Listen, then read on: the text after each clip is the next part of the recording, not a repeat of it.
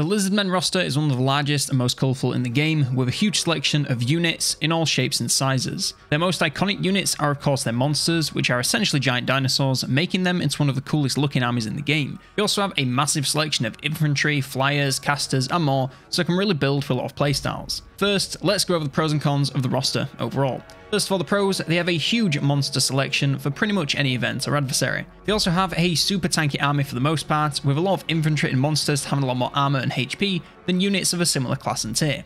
They also have a reasonably large selection of Lords of Magic across their many choices of casting lords and heroes. As for the cons, they have a limited selection of ranged infantry, meaning most of their firepower is focused rather than spreading it around an entire army. The early game is also super weak with good units being too expensive and cheap units being pretty aggressively bad.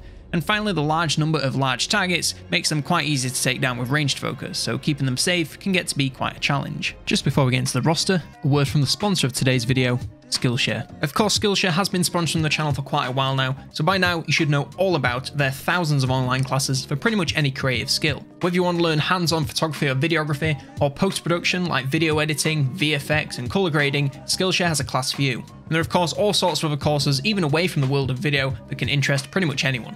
One class I've enjoyed this month is Introduction to Lighting by Jordy Vandeput. It covers the basics of lighting when filming a subject and has changed how I light scene to create more depth and a more interesting look. This has helped me massively in work so has been a huge help. Of course, if this isn't for you, there are thousands more classes online for many different topics, with more being added every single week, so there's sure to be something that you'll find interesting. If this all sounds like something that you'd like to be a part of, then click the link in the description where the first 1,000 of you to do so will get one month totally free of Skillshare. Massive thank you to Skillshare for sponsoring this week's video.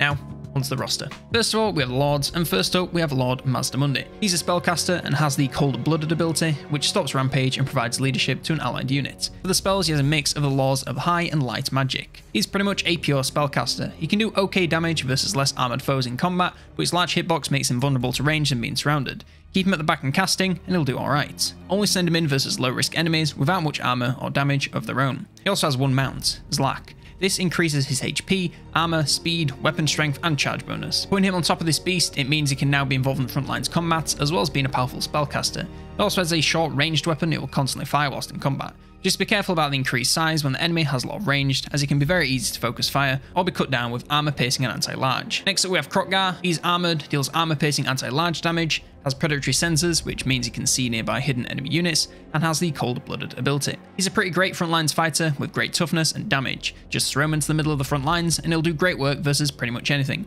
He's also a pretty great duelist with that damage and toughness, and even the anti-large if he's versus a mounted or monstrous lord. The only thing he needs to be worried about is getting bogged down by super high armor piercing damage, so just keep him with allies and he should be just fine. He also has three choice of mounts. Cold one, which increases his HP, armor, speed, and charge bonus, and he becomes a slightly large target. You can now use him as a charging lord rather than the sustained combat to make the most of their bonus and speed. Still decent on the front lines, just be careful increased size doesn't lead to his doom. The horned one gives even more HP, armor, speed, and charge bonus, so it does all the same stuff the cold one does, but only better.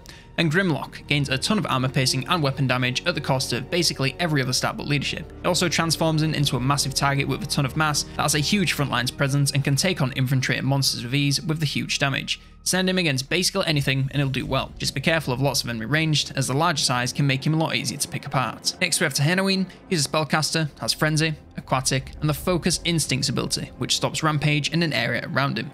He also has access to Law of Beasts. He's quite a jack of all trades with decent armor, high armor piercing and poison damage, as well as the Law of Beasts. He can get straight to the front lines versus infantry or other characters, and do pretty well, all while supporting his team with the spellbook. Just don't let him get too deep as his armor isn't out of this world high, so he'll still go down if he gets caught out. For his mounts, he has a horned one, a Ripperdactyl, which allows him to fly so makes him way faster, alongside giving him more HP, weapon strength, and charge bonus. This makes him into a great backlines menace, allowing him to target missiles and artillery with these, alongside his spells. Just stay on the move to avoid missile fire and he also has the Engine of the Gods Ancient Stegodon. This makes him into a huge monstrous unit with a ton of HP, armor, and weapon strength, as well as the Engine of the Gods. This provides the Burning Alignment ability, which can obliterate enemies if it fully lands. With this, he's great at pretty much everything. Get him on the front lines, use his spells and abilities, and avoid missiles as much as possible. Tiktaq'to is next. He deals armor-piercing damage, has Vanguard deployments, the Drop Sphere of Tepok ability, 20% physical resistance, and the Focus Instincts ability. He's a flying charging lord with that huge charge bonus and weapon strength. You can leave him in with those melee stats, but with the low armor and large hitbox, this is a much larger risk than charging in and out. Keep him charging in and out of enemies, focusing on key backlines targets first to get the most value before coming back to charge the front lines and keep your troops encouraged. Next up we have Gor-Rok. He's armored and shielded, deals armor piercing damage, is a melee expert, has predatory sensors, expert charge defense, and the cold blooded ability.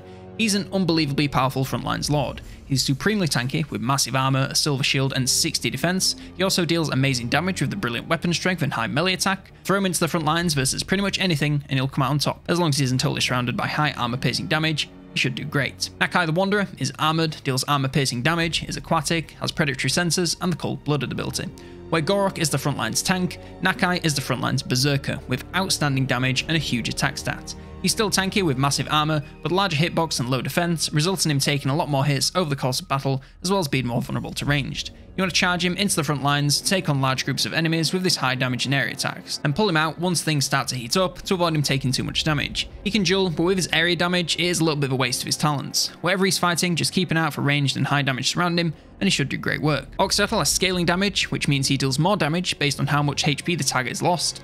Stalk, Chameleon, the ability to fire whilst moving, and the cold-blooded ability. Oxir is the ranged combat specialist of the legendary lords. His primary damage output is from range with high armor piercing poison and magical damage, making anything he hits feel a ton of pain no matter what defenses they have. His range and speed make him best at skirmishing, but just be careful of fast units catching him out of position. He's also okay in the front lines, but has low armor and armor piercing melee damage, so unless he's out of ammo, he should avoid it if at all possible. Just keep him on the move and shooting key targets, and it'll do great. First of our generic lords are the Slann Mage Priests. These are spellcasters and have the cold-blooded ability. These can come with law of fire, heavens, high magic, life, or light. These guys are more or less the exact same as Mazdamundi, give or take a few minor stat differences, but you can still use them pretty much the same. Focus on spellcasting and stay near your troops to keep them encouraged, and only send them in versus low threat troops to get some safe damage in. Next we have the Kroxigor Ancients. These are armored, deal armor piercing anti-infantry damage, have predatory sensors, and the cold-blooded ability. These are very similar to Nakai, but weaker in their melee and damage stats, so will overall be a little worse in most areas. You can still use them pretty much the same, but just execute a lot more caution to ensure they don't get taken down from melee or from a range. Other than that, send them in to wreak havoc on the front lines with that glorious area damage. The Red Crested Skink Chiefs deal armor piercing anti-large damage, have poison attacks, are aquatic, and have the Focus Instincts ability.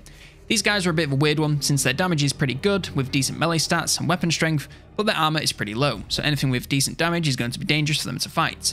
Try to focus on low damage foes with high armor to get the most value and avoid letting them get surrounded at all costs as their mid armor will not keep them safe for long. They also have three mounts. The Horned One, the Ripperdactyl, and the Ancient Stegodon, which makes them into a giant monster with a ton of HP, armor, and weapon strength, alongside a nice bit of rapid fire missile strength. Have them fire upon enemies before getting involved in melee where needed, just watch out for missiles as their large size makes them an easy target. And our final lords are the Saurus Oldbloods. These are armored and shielded, have armor piercing damage, predatory instincts, and the cold-blooded ability. These are pretty much the weaker Kroq-Gar, with worse attack but slightly improved defense with an added shield and some extra defense to make up for less attack, damage, and no bonus versus large. This makes them into great tanks that can get involved in the front lines versus pretty much anything and do good work without taking too many hits. They still have good damage so will do well versus armor and even in duels, so use them more or less the same. Just avoid getting them pinned down in the middle of high armor piercing damage and they should do just fine. They also have two mounts, the cold one and the Carnosaur, which is basically the same as Kroq-Gar's Grymloq, just a little weaker in most stats. Coming to the heroes now, we have the one and only legendary hero, Lord Kroak. He's a spellcaster, unbreakable, and has the cold-blooded ability and he has access to the Deliverance of Itza spells. Very similar to the Slann Mage Priest, but with a couple of differences, mainly the Unbreakable leadership and very poor defense. His spells are of course his real power, with his unique Deliverance of Itza line offering some of the most powerful magic in the game, so keep him casting as often as possible to blow enemies away in seconds and rack him up a ton of kills. With his defense, I would avoid pretty much all combat if possible, but if he ends up fighting, he'll at least do some good damage before he goes down. Next up we have the Saurus Scar Veteran, these armored and shielded, and deal armor piercing anti-large damage. Have predatory instincts and the cold-blooded ability. These are like the Old Bloods, but worse, making them a worse, worse version of Kroq-Gar. They function more or less the same, with worse stats across the board, meaning they deal less and take more damage. Still, toss them into the front lines to get some value, now just be extra careful not to let them get surrounded, as they'll go down even quicker if they do. They also have two mounts, the Cold One and the Carnosaur. Skink Chiefs have poison attacks, aquatic, can fire whilst on the move, and have the cold-blooded ability. These are quite similar to Oxyotl, but worse in every stat. The best use for damage is from a range with their high, albeit not overly armor-piercing poison damage. Keep them on skirmish and flanking enemies to fire on key targets. Be careful of faster enemies catching them out, and avoid melee if you can, as their stats are poor, as well as armor, so they'll go down very quickly. They also have three mounts. The Terradon, which makes him into a flying missile specialist with a ton of speed, still not a frontlines beastie, so keep him on the move and firing to avoid missiles and deal some decent damage. The Stegodon, which changes him into a huge monstrous artillery piece with a ton of power in melee and from a range, you can sit him at the back and fire, or get him into the front lines. Whatever you do, just avoid letting them get focused from melee or range, as large size makes him easy to concentrate on, or the Ancient Stegodon. Next up we have the Skink Oracles. These are spellcasters, deal armor piercing damage, cause terror, have poison attacks, and the cold-blooded ability. Their spells, they have a mixed spell book from a range of different lords. Even without their spells, these are great heroes. They have excellent damage from a range and in melee, but ranged is a lot higher and safer with a ton of armor piercing, anti-large bonus, and poison. Keep them back and have them firing key targets to make the most of their high damage missiles. Send them in once they've run out of ammo, but keep them safe from being surrounded, as even with their high armor, they can go down fast. With their spells, they can provide a versatile support in battle, so keep them shooting and in casting range, and they'll get loads of value. And finally, with the Skink Priests. These are spellcasters and aquatic and they can come with Law of Beasts or the Law of Heavens. These guys are purely spellcasters. Keep them out of combat at all costs and casting to get any value at all. If they get into combat with anything melee or ranged, they'll go down fast with terrible melee stats and armor, so avoid it at all times. They also come with four mounts. The Terradon, the Stegodon, the Ancient Stegodon, and the Engine of the Gods, Ancient Stegodon. Now we finally come to the melee infantry. First up we have the Skink Cohort. These are a tier 1 unit, a shielded and aquatic. These are a super basic chaff front line. They have poor melee stats and armor with passable weapon strength for this stage of the game. Use them to bog down the enemy, and then bring in monsters, missiles, and magic to do the real damage. The only real strength is their speed, so use this to surround enemies and make up for their poor combat skills. The Red Crested Skinks are a tier 1 unit, deal armor piercing damage, have frenzy, poison attacks, and aquatic. These are a reasonable step up in damage from the cohort with improved weapon strength and poison damage, but somehow even more squishy. They have no shields, low armor, and very low defense, so the most basic enemy force will hit them very hard and they will not survive for long. Keep them well supported so you can take out enemies before they take too many hits. Take a mix of front lines, as these being your only choice will result in a very fragile front line and a very vulnerable back line. Next up the Chameleon Stalkers, these are a tier 3 unit somehow, have a low ammo missile weapon, vanguard deployment, Chameleon, which means they can move hidden through any terrain and have missile resist, as well as dodge, which is physical resistance. These are a purely flanking front lines unit. Their speed and stealth lets them get around and behind enemies to attack from an unexpected location. Their ranged weapons shoot explosive shots that disrupt enemies, as well as dealing some decent damage to make the following melee combat a lot easier. They still aren't the best combatants in the world, but their flank combined with their ranged and following poison damage will allow them to take down enemies before they really know what's hit them. They're decently tough with okay armor and some resistance, but for sure, don't think that they are tanky. Use them alongside of real front lines rather than as your only option. Next we have the Saurus Warriors. These are a tier 2 unit, have predatory senses, and the Primal Instincts ability. These are the first real front line of the lizards. They have great HP, much better armor, as well as much higher weapon strength. Melee stats still aren't amazing, but what can you expect from an early game unit? Use them as your mid game wall to keep enemies still and provide them with as much support as possible to deal all the real damage to tougher foes. They're also quite slow, so against fast enemies, you'll need to position correctly to keep your army safe. We also have Saurus Spears, these are a tier 2 unit, have anti-large damage, charge defense versus large, predatory senses, and primal instincts. These are pretty similar to the warriors but have less attack and damage for more defense, a bonus versus large, and charge defense. This makes them a little sturdier against most forms of damage so will hold the line that a little bit longer. Use them more or less the same and provide them with lots of support to deal all the damage. Now, just enjoy them staying a little bit longer. The Saurus Warriors and the Saurus Spears also come with some variations. Just gain shielded. Pretty much the exact same as the regular units, but gain more defense and a shield. You can use them pretty much the same, and a little bit tougher from a range and in melee. Simple as that. And our final melee infantry unit is the Temple Guard. These are a tier 3 unit, armored and shielded, deal armor piercing damage, have charged defense versus large, and predatory sensors. These gain armor, leadership, attack, and armor piercing damage over the shielded spears, making them a threat as well as even tankier. Their improved damage means most forces that come against them will feel the pain even without support. Adding support to them makes your front lines super deadly, so do this to wipe enemies as fast as possible. Honestly, just use them the exact same, but now enjoy them being tankier and deadlier. The only thing they have to worry about is super high armor piercing damage, so keep an eye out for this and they'll be just fine. Now it comes to the ranged infantry. First up, we have the Javelin Skink Cohort. These are a tier 1 unit, are shielded, have poison attacks, and are aquatic. These are the exact same as the regular cohort from the melee infantry, but now have low ammo ranged weapons. You may as well use these over the base unit since the minor cost gets you a lot of utility and early damage. Get them an angle to fire either on a flank or just before the lines clash, and give everything they've got. Once they're out of ammo, they're still the same units as before, so the same advice applies. Just make sure to use their ammo before sending them into melee to get the most value. Next up, we have the Skink Skirmishers. These are a tier 1 unit, have Vanguard deployment, poison attacks, aquatic, and can fire whilst moving. These are a more focused ranged unit, dropping the shield and melee stats in favour of a lot more ammo and the ability to skirmish. Keep them on the move and flanking enemies to fire into the backs of the front lines. Their damage isn't amazing, so instead focus on spreading the poison damage to as many units as possible to debuff enemy troops. Do this and keep them safe from being caught out by faster units, they'll be doing great work for you. Just avoid melee at all costs, as their stats are truly awful. And finally, we have the Chameleon Stalkers. These are a tier 2 unit, have Vanguard deployment, Chameleon, aquatic, and can fire whilst moving. These are very similar to the Skink Skirmishers since they have the same speed and will be used more or less the same to flank and spread their damage around. They get an increase to almost every stat, but when you lock them, it hardly changes how they'll be used. The addition of Stalk makes it a lot easier for them to get into position, just make sure they don't expose themselves too early and get caught out before they can get any value. Still, spread the damage around and avoid melee at all costs, and they should do just fine. Now come to the Cav. First up we have Feral Cold Ones, these are a tier 1 unit, armoured, deal armour piercing damage, and have Rampage and don't you know it. These won the worst unit in the faction award, and it's not really hard to see why. On paper, they don't seem too bad, and they can work well as flankers to take down ranged troops in the early game when you have no other choices. The problem is their rampage, and it seems like they go on one at the drop of a hat and normally end up dying because of it. Use their speed to keep them out of ranged and melee trouble, and focus on super weak enemy backlines. Avoid combat with any real melee units, and they might just stay in control if you're very lucky. Next we have Cold One Riders, these are a tier 2 unit, are armoured and shielded, deal armour piercing damage, have predatory senses, and primal instincts. These are a little slower than the Feral Cold ones, but a major step up in every other category. They have more armor, leadership, melee stats, and damage, but most importantly, they have no rampage. You can still use them pretty much the same to flank and take out enemy backlines, just now you don't have to worry about them going out of control. Neither their charge bonus nor their melee stats are amazing, so use a combination of both to get the job done, and avoid them taking as much damage as possible. Do not let them get pinned down and stuck in combat, as their large size will result in a swift death versus anything halfway decent. They also come in another variation, Cold One Spear Riders. These are the exact same as the regular riders, but lose some attack and overall weapon strength to gain a bonus versus large. You want to use these guys to go after large targets like monsters or the cav, still using a combo of charging and melee to optimize their damage and reduce their hits taken.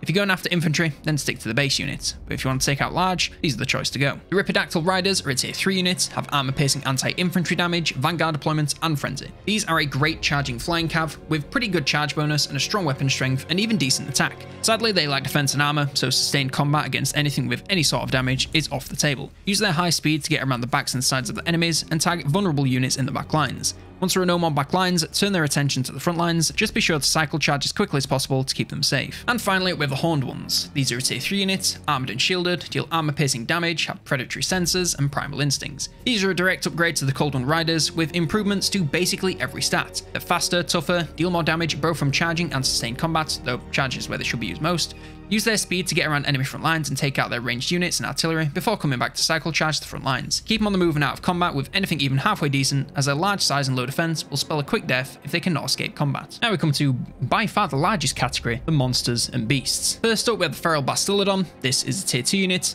armored, deals armor piercing melee damage, and has rampage. Pretty much does what it says in the tin. It's a feral tanky beast that deals great damage in large feral area attacks. Charge into enemy forces alongside your front lines to keep it surrounded and watch it go to town. It deals great armor piercing damage, so no enemy's too tough. It also is surprisingly tanky, with a huge armor stat, even alongside the low defense. It's still prone to going on a rampage, so just make sure it's deep in the enemy units if it does, so it deals as much damage as possible, and of course support it with melee infantry to try and keep it alive. Also, be aware of ranged focus, as their large size makes them an easy target. Be aware of this and anti-large or armor piercing melee, and this should do great. The Revive Crystal Bastiladon, because I'm really sick of trying to say that word, is a tier 3 unit. It has the Revive Crystal, which can be used to heal units and resurrect dead entities. It's deals armor-piercing melee, and causes terror. This is the exact same as the Feral Bastiladon, with some improvements. They can no longer rampage, which is great. They also have a team of ranged troops on their backs, which fight constantly in combat to get their damage numbers up. And of course, they have the Revive Crystal, so can heal allied units in combat, so work great as support monsters. Still, use them to charge into the front lines and now enjoy even more damage alongside the ability to heal allies when needed. Try and keep them central to your army to make the most of this ability wherever it is needed. You also have the Ark of Sotek Bastiladon. This is a tier 3 unit, is armoured, deals armor piercing damage, causes terror, has poison attacks, and of course has the Ark of Sotek, which applies Sotek poison to all nearby enemy units. It's pretty much the same as the Revive Crystal, but swaps that for the Ark of Sotek. This allows them to deal poison damage to nearby enemy units, so just charge into a big clump of foes and let loose the extra damage. Use them the same other than this, and they'll do great work for you. Next up we have the Kroxigor. These are a tier 3 units, have armor piercing damage, predatory senses, and primal instincts. These are a great frontline support monster. Charge them in with your melee infantry to keep them protected, and watch them deal great area damage with their great armor piercing, especially alongside the bonus versus infantry. Just don't let them get in too deep, as they can still go down fast when focused due to their low defense. If you keep them safe, they'll slaughter most infantry you put in front of them. Just make sure they aren't alone to keep the odds in their favour. You also have these Sacred Kroxigors. These are a tier 3 units, are armoured, have armour piercing damage, predatory senses, and primal instincts. Pretty similar to the regular Kroxigors, but gain more attack, magical damage, and a nice increase to their weapon strength. This makes them better at the exact same job, so use them the exact same, and they'll do great work. Now they'll be deadly to resistance as well as armour, so pretty much anything will go down if you send these guys in. Keep them well supported to avoid unnecessary damage, and they'll do just fine. Next we have the Feral Carnosaur. This is a tier 3 unit, is armoured, has armour piercing anti-large damage, and has a rampage. It's a giant T-Rex. What more is there to say? It's a monster on the front lines and can tear entire clumps to shreds with a huge damage and large area attacks. It also has that bonus versus large, so duels versus other large monsters work excellently. No matter what it's doing, keep it well supported with melee infantry and other units to keep it alive and confident. Avoid missile fire and getting stuck in the middle of high damage, as it can quickly go down, especially if a rampage is triggered. With a high speed it can target pretty much anything, just make sure you use that speed to keep it safe and alive. Next we have the Coatl, this is a tier 3 unit, it's a spellcaster with two bound spells, has the Master of the Sacred Places ability, and Scaly Skin, which is missile resist. This is a super weird unit with a lot of abilities, but also a lot of fun to use. You can use the Master of Sacred Places ability to hide basically your entire army if you position them right, and swarm the enemy before they know what hit them. You can use their spells to wreak havoc pretty much anywhere you choose, their high speed lets them get across the map at a rapid pace, and not much can outrun and slow them down. I would use them to take down backlines as they're pretty hard to stop without the enemy having flanks of their own. Just keep them safe from range as they can quickly fall if focused. Once backlines are clear, bring it into the front lines, making sure to keep friendly troops nearby. It deals great magical armor piercing damage, but can go down pretty easily with large hitbox and low defense and armor. Keep it safe from being focused and use those spells on cooldown and it should bring you a lot of value with all the combatant abilities. Next up we have the Feral Stegodon. These are tier 3 units, are armoured, deal armour piercing damage, cause terror, and can go on a rampage. This is a pretty direct upgrade from the Bastiladon, as it's still pretty tanky and deals a ton of frontlines damage. Use it basically the same to support your melee infantry and charge into clumps of enemy infantry to make the most of large area, armor piercing and anti-infantry damage. Of course it can go on a rampage, so just try and keep it as safe as possible while fighting, and if something does happen, just pray it goes into something it can finish off. Not more to it than that. Pretty simple, charge and fight monster. You also have the Engine of the Gods Ancient Stegodon. This is a tier 3 unit, is armoured, deals armour piercing damage, causes terror, and has poison attacks. This is a massive upgrade despite the slightly lower attack stat. They gain increases to armor, leadership, and weapon strength on top of the new ranged weapons team, meaning their damage will be massive throughout the entire battle. On top of this, they gain the Engine of the Gods Burning Alignment ability to scorch the earth and wipe whole armies out if you place it correctly. Just make sure you aim it at the enemy and not your own troops, otherwise it can just as easily wipe your army out. Send them into the middle of the front lines keep them central, and use the ability on the biggest clumps you can find on cooldown for a ton of damage and value. The Feral Dreadsaurian is next. It's a tier 3 unit, is armored, deals armor piercing damage, causes terror, and can go on a rampage. These are truly giant beasts, like the size of an entire unit of infantry, so of course come with a lot of power and one huge drawback. First of all, their power. They have a ton of HP, armor, and of course damage, and can slaughter infantry en masse. If you send them into a clump, it doesn't matter how much armor they have, they're going to get eaten alive by these guys. Sadly, their massive size does make them an easy target for ranged and being surrounded in melee. The low defense means that high damage anti-large foes will slaughter them when they get locked into combat, alongside enemy range basically having a guaranteed hit. Add on the rampage and they can quickly spiral to their doom once the heat is on. Send them into the front lines clumps, but keep them supported with melee infantry and other units to take down ranged threats and keep them alive and fighting. It also comes in another variation, and our final monster unit, the Dread Saurian. It's a tier 3 unit, is armoured, deals armour piercing damage, causes terror, and can fire whilst moving. It's pretty much the basic unit, but gains a ton of improvements with more leadership, no rampage, and a missile team on its back that will deal a ton of damage over the course of the battle. Pretty much the same, but now enjoy no rampage and a bunch more damage from the ranged. It's still a beast and will destroy melee clumps, just get rid of ranged units to make sure it survives. And now we come to our final category, the missile monsters and beasts. First up we have Terradon Riders, these are a tier 2 unit, with Vanguard deployment, poison attacks, can fire whilst moving, and have the Death from Above drop rocks ability.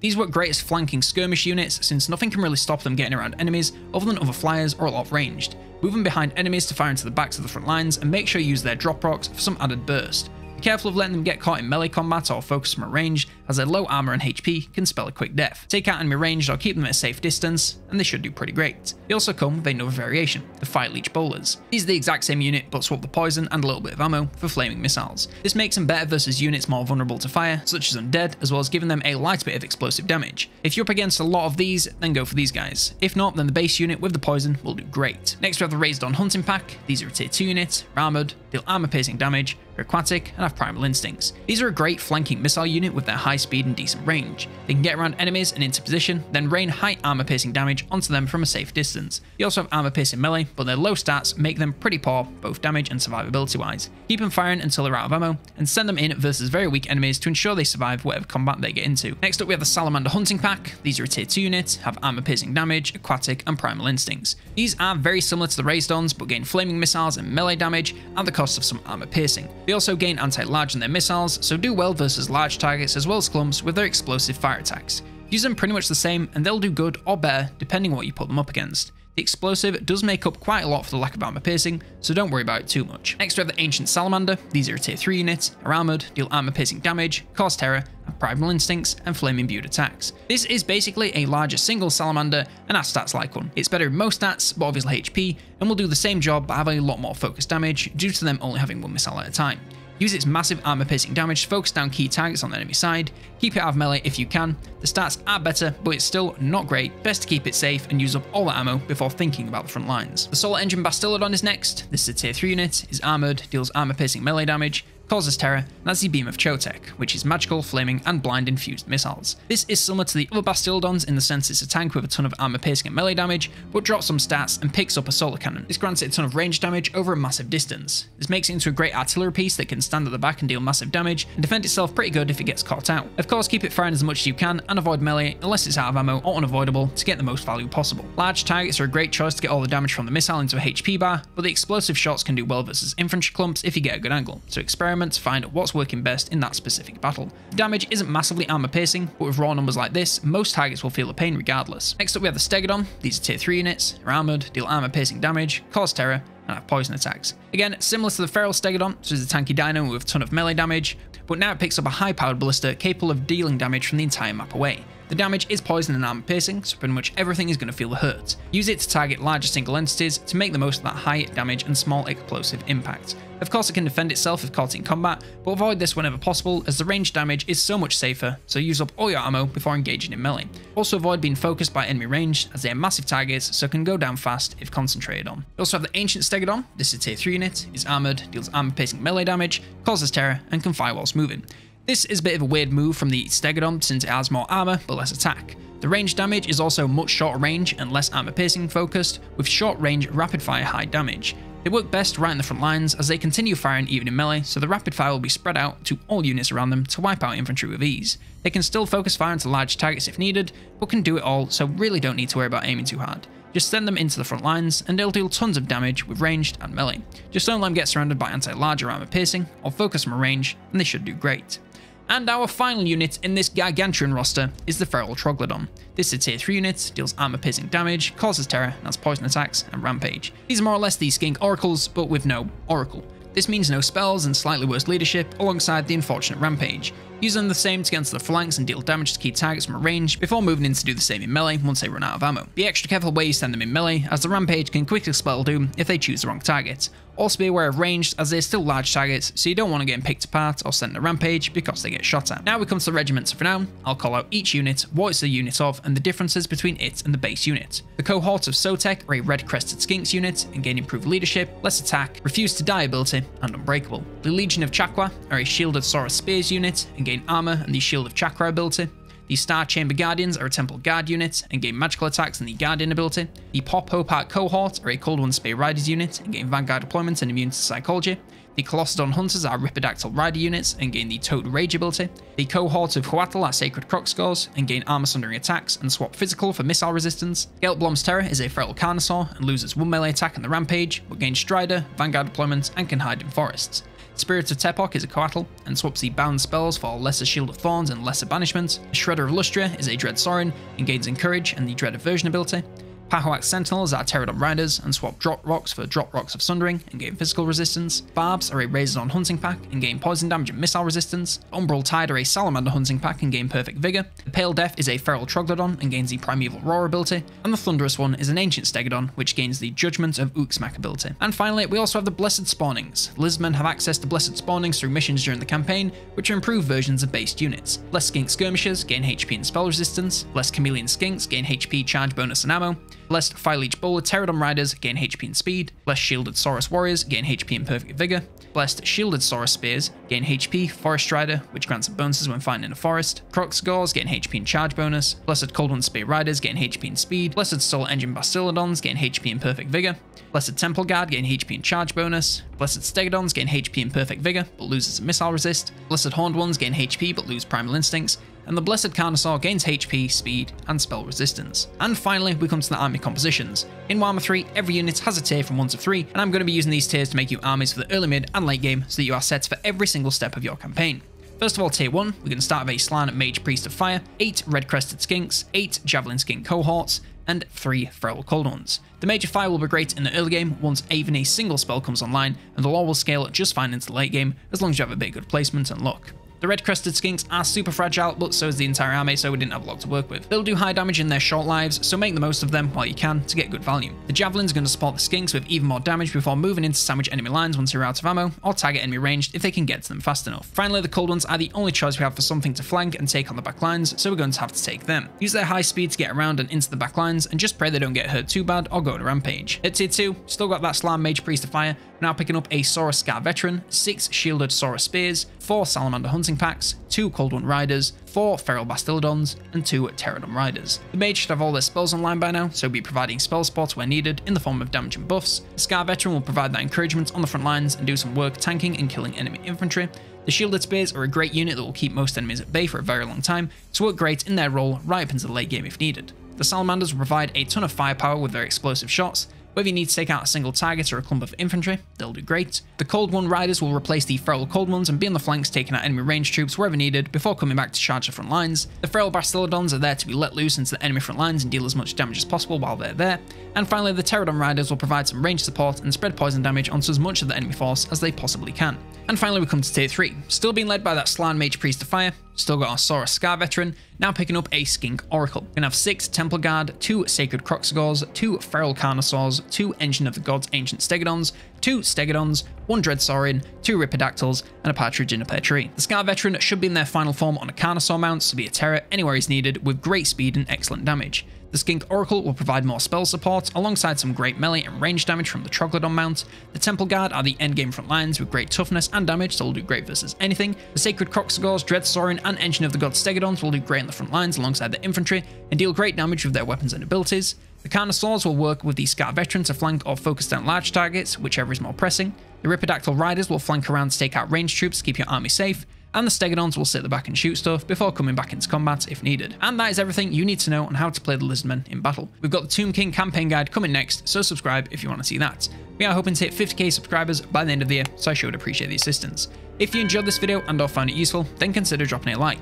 If you really enjoy the content and want to support it directly, then consider becoming a member on YouTube or a patron on the Patreon. Doing so gets you early insights into future content, increased voting power, discounts on merch, as well as shoutouts at the end videos like Henry took off his spot at the officer's tier. Thank you to all supporters, one last thank you for watching, and for now, I've been Colonel Damneders, and I will see you next turn.